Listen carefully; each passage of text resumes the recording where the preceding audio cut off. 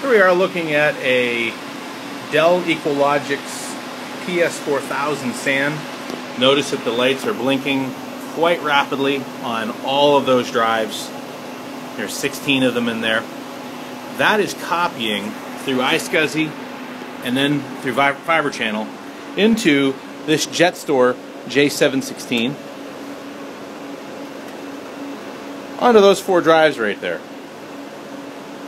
Notice the difference in access between those four solid state drives on the JetStor and those. Look at how much harder the EqualLogic has to work for the JetStor to do the same exact thing. Which, by the way, reading from RAID 5, which is what this is, to writing is a lot easier. So the EqualLogic technically has less work to do than this does.